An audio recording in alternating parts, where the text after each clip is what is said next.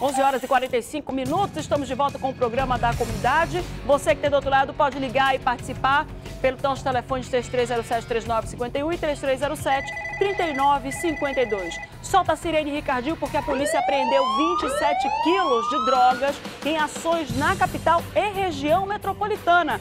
Cinco pessoas foram presas, é o destaque que a gente traz agora aqui na tela com Bruno Fonseca.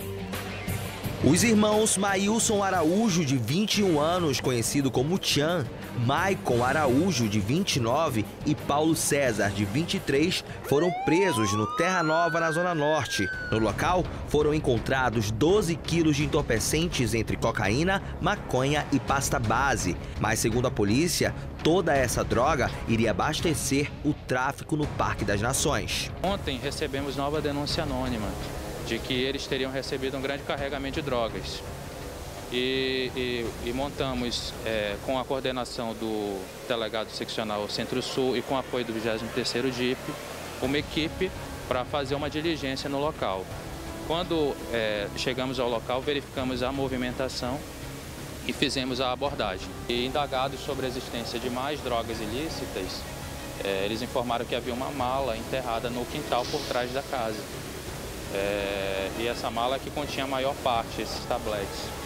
De acordo com a polícia, eles fazem parte de uma facção criminosa que atua na região norte do país e já eram investigados havia dois meses. Abordamos a residência onde era o laboratório, identificamos vários apetrechos, vários é, químicos utilizados, inclusive a, as colorações da droga apreendida, você constata várias em função disso e constatamos que realmente se tratava de um laboratório. Os três já foram encaminhados ao centro de detenção provisória na BR-174. E na manhã de hoje, a polícia apreendeu 12 quilos de maconha do tipo skunk no porto de Manacapuru. A droga estava em um barco que vinha de Maraã. A denúncia era muito precisa, ela dava até vários nomes de pessoas que receberiam aqui em Manaus. Nós conseguimos afinar esses dados e fizemos um acompanhamento dessa droga quando descia e Manacapuru fizemos uma abordagem. O traficante que trazia essa droga, ele já imaginava, percebeu que haveria uma abordagem e desceu no município de Anamã. Lá na abordagem nós encontramos aí, aproximadamente 12 quilos de maconha skunk que estavam acondicionadas em caixas de papelão. Parte da droga seria entregue para Hudson Andrade, de 22 anos, e Alan Leão, de 25 anos. Com a dupla, a polícia encontrou mais 3 quilos de skunk. As investigações continuam para prender os outros envolvidos no grupo. A gente já tem a identificação em imagens dessa pessoa que vinha trazendo a droga no barco. A prisão preventiva dele já foi representada à justiça e nós temos também uma continuidade das investigações com a relação desses outros é, donos de boca de fumo que iriam receber a droga em Manaus e que serão presos em momento oportuno. Agora você viu lá? Isso aqui foi de Manacapá. Olha aqui, olha aqui. Os dois irmãos aqui, ó. Dois irmãos e um terceiro com picha ali, olha aí. Aí liga pra mãe, mãe, me tira daqui. Mãe, dá um jeito de me tirar daqui. Pai, me ajuda, né? A, o pai e a mãe passam a vida inteira dizendo para eles não se meterem na criminalidade. Olha, chovendo e chovendo forte aqui na, na zona, na zona centro-sul da cidade. Tá terminando a obra lá da Torquato Tapajós. Vamos monitorar aí áreas de risco e vamos embora monitorar o que está acontecendo. 11 horas e 48 minutos, aí o bandido vai lá, o criminoso, né, o meliante aqui. Mãe, me tira daqui, pai, não sei o quê. Mas na hora que era para obedecer o horário de ir para a aula, não obedecia.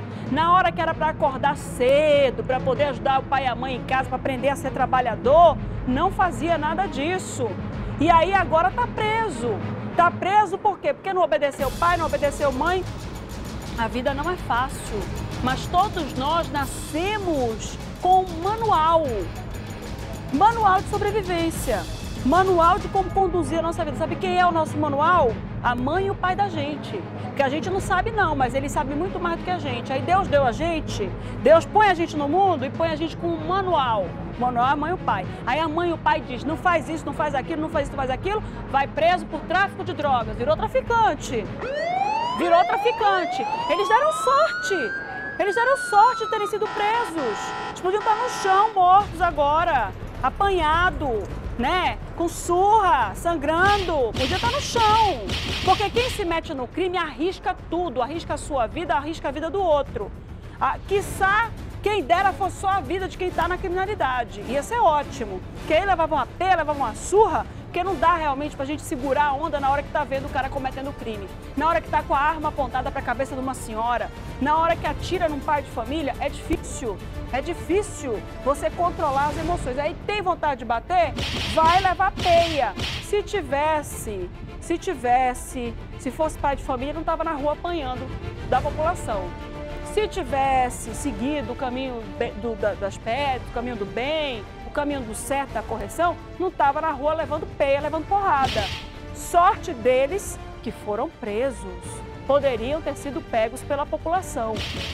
Então o bandido já sabe que é o seguinte: o crime nunca compensou e nunca vai compensar. Tem jeito de sair do crime? Tem jeito de sair do crime. Você não vai ter o dinheiro que você tinha expectativa de receber com o crime. Porque o que, que leva esse pessoal a entrar na criminalidade? Dinheiro, quer dinheiro, quer facilidade, quer viver com, com, com, ostentação, quer viver bem, né? Viver com folga, comprar ouro, comprar não sei o quê. A última coisa que eles pensam é em sustentar a família. É a última coisa que eles pensam. Eles pensam mesmo em ser traficante, em ficar luxando por aí, né? Ficar ostentando por aí. Se pensasse um pouquinho menos e trabalhasse mais, agora não estava preso não estava correndo risco de apanhar até morrer, como aconteceu com aquele outro lá do zumbi. A vida do crime é assim. Escolheu ser criminoso, escolheu entrar na bandidagem, escolheu cometer crime, pode matar ou pode morrer. Espero que sempre morra o criminoso, que nunca morra o pai de família, porque é ele que está assumindo o risco da profissão dele. Não está resolvendo ser bandido? Não está resolvendo ser criminoso? Não está resolvendo roubar as famílias e roubar as pessoas? Então, se tiver que morrer alguém, que morra ele, né? Que não morra o pai de família. E vai levar surra, porque quando a população pegar, vai bater. Porque não dá para você controlar a emoção da massa. Não dá para controlar a emoção da população. Não dá. Então, sai da vida antes que apanhe até morrer, que é melhor. 11 horas e 52 minutos. Você que tem do outro lado acompanhando o programa da comunidade, vamos mudar de assunto. Vamos trazer coisa boa agora. Vamos trazer dica para você que tem do outro lado ligado com a gente. Vem cá, vem. Gente, olha só, a osteoporose é uma doença silenciosa que enfraquece os ossos e é a principal causa de fraturas em pessoas acima de 40 anos. Por isso é recomendável tomar cálcio já a partir dos 40. Mas preste atenção, porque não, não é qualquer cálcio, né? Você não vai tomar qualquer coisa. Tem que ser calcitran. Dá uma olhada aí nesse depoimento. Eu sentia dores terríveis na coluna. Até parei de fazer caminhada. Aí eu descobri que estava com osteopenia. Por recomendação médica, eu comecei a fazer a reposição com cálcio. Comecei a tomar calcitran, minhas dores desapareceram. Hoje eu me sinto muito melhor. Voltei à minha vida ativa, caminhar, tudo mais. Eu não abro mão do calcitran por nada. Viu só? Com apenas um comprimido ao dia de calcitran, você repõe as suas necessidades diárias de cálcio e vitamina D.